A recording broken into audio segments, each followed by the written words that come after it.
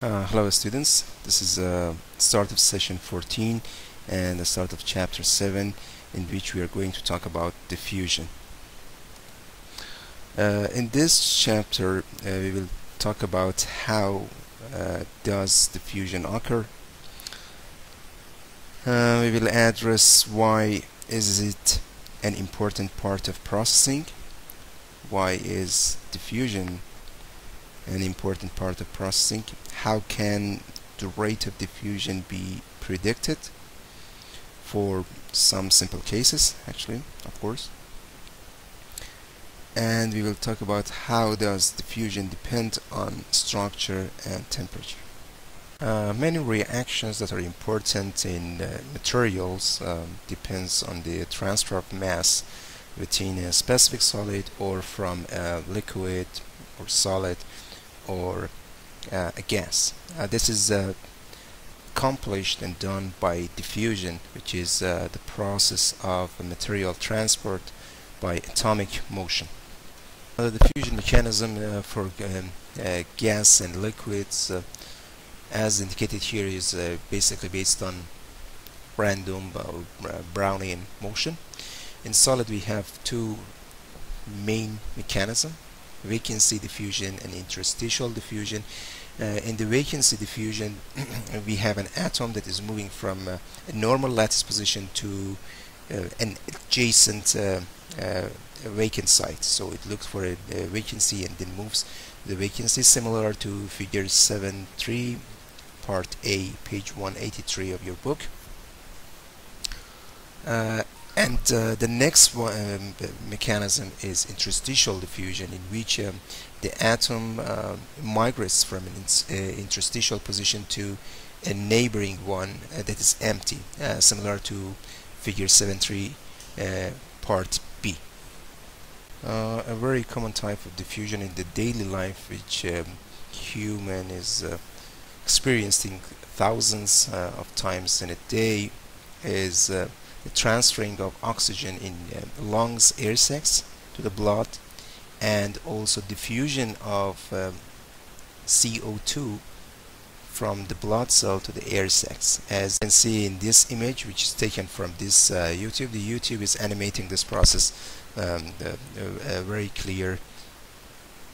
The process of diffusion is also uh, shown here schematically. When you see we have higher concentration or existence of uh, material type A here and then the right side of the same chamber we have lower concentration. So after a while you see migration of these atoms or these type of molecules to the right side and then we have a homogeneous distribution of uh, these material in the whole uh, chamber in an alloy, uh, what happens, atom tends to migrate, as I said, from regions of high concentration to regions of low concentration. So if they are initially, sorry, uh, look like this, we have atom A and atom B.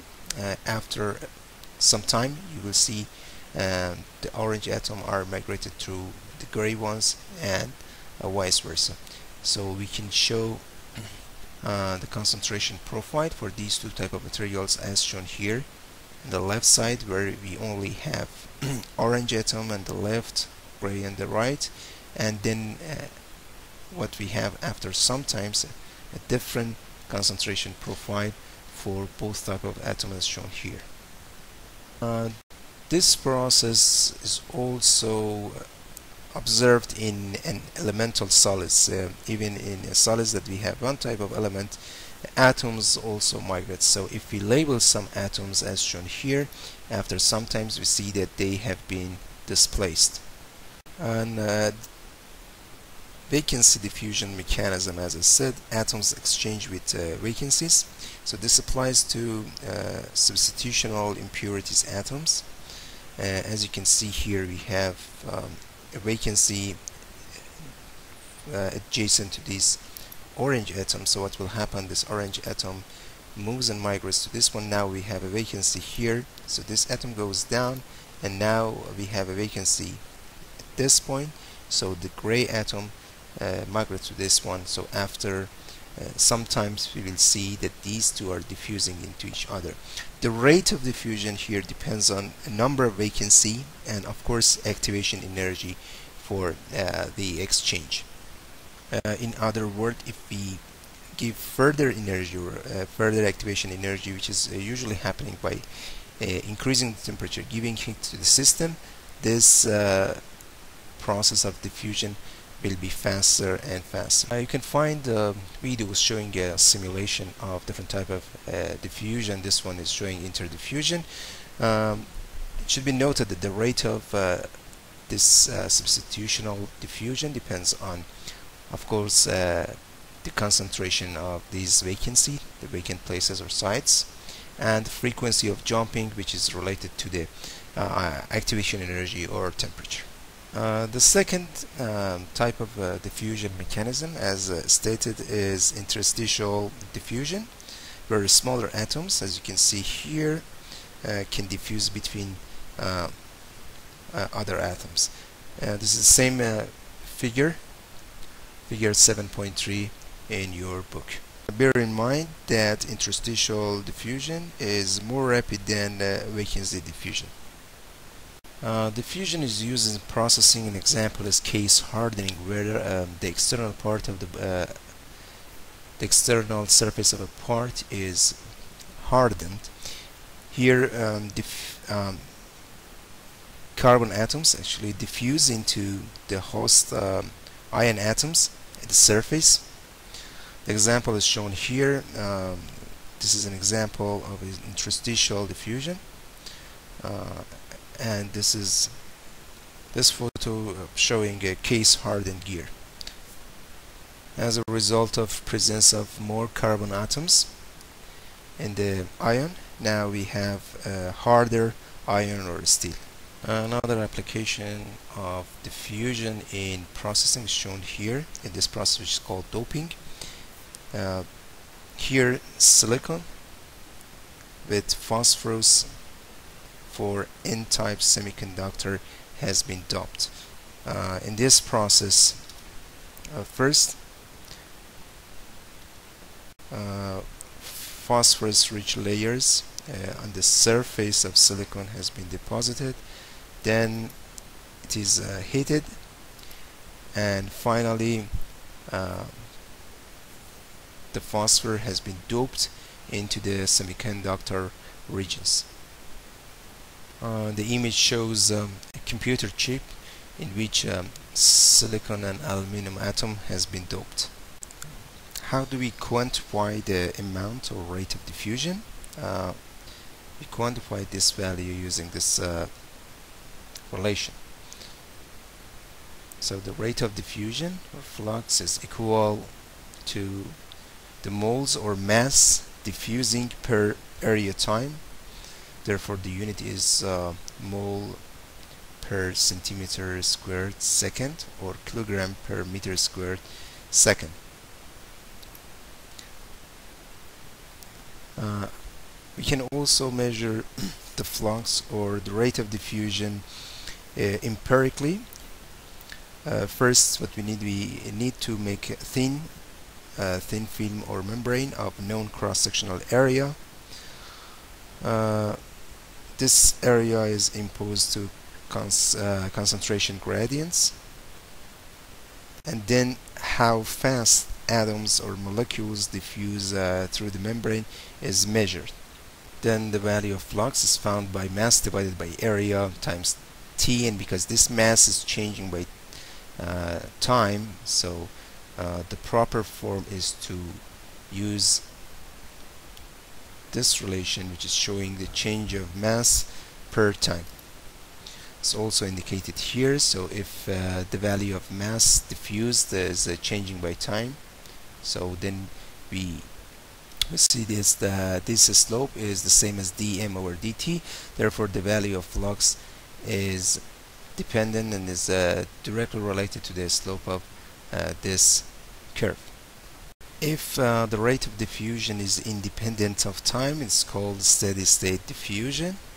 As you can see, we have a certain value of concentration of material 1 here, certain uh, value of concentration at point 2 here. This is 0.1 and this is 0.2 therefore uh, we can say that flux is uh, proportional to concentration gradient so change in concentration in uh, in the location. And then we can write down the value of flux is equal to this relation in which d is uh, diffusion coefficient. This is known as Fick's uh, first law of diffusion which is used for steady state diffusion if the change of uh, concentration along the position is linear then we can write instead of dc over dx. This relation we can simplify it into c2 minus c1 which is uh, the change in concentration uh, divided by change in the position.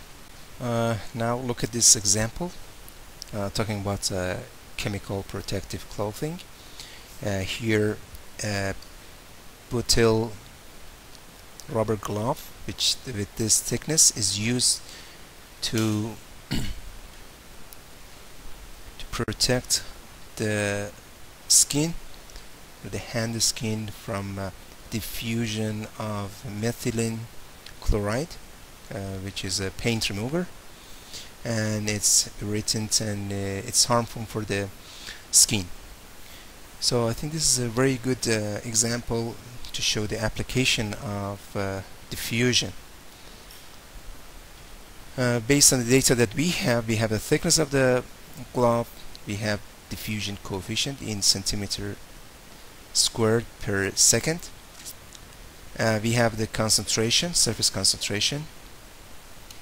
This is uh, the concentration out of the glove and we don't want this concentration to be more than this value inside the glove where it's uh, exposed to the skin.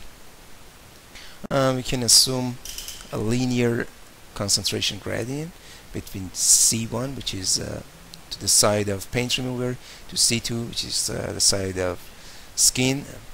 The position x1 and x2 are showing two sides of the glove thickness. So the distance between here to here is as it's mentioned here 0.04 centimeter or 0.4 millimeter.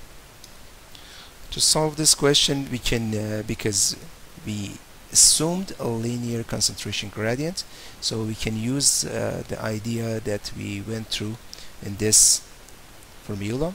We can find the flux using this relation. You have the value of d instead of dc over dx uh, because it's a linear change in uh, the concentration value versus displacement. Then we can use this value instead of dx and uh, then we can solve the problem. D is given c1 and c2 are given and we know x2 minus x1 is 0.04 centimeter.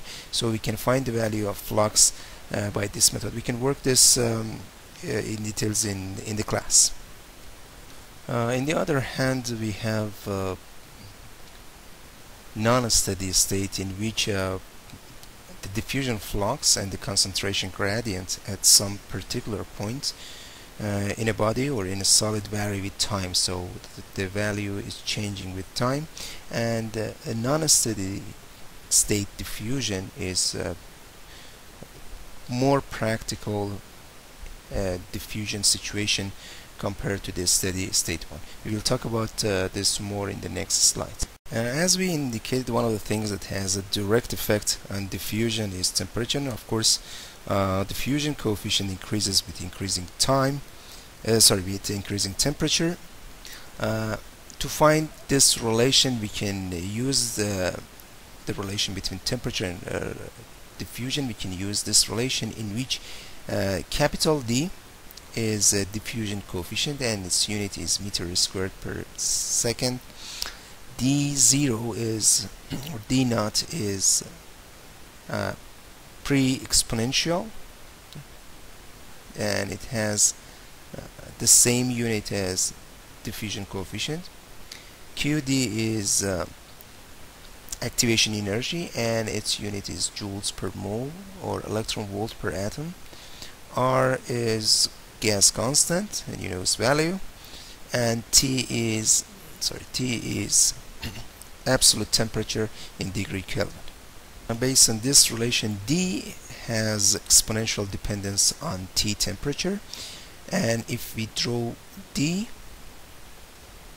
uh, we plot the logarithmic uh, value of diffusion coefficient versus the reciprocal uh, absolute uh, temp uh, temperature for several metals. We see that this uh, relation now, if we draw this logarithmic value, is changed into a linear one and it's easier to work with this chart. This chart is shown in page 191, figure 77 of your book. we will work in the rest of the material in uh, chapter 7 in the next session. Thank you.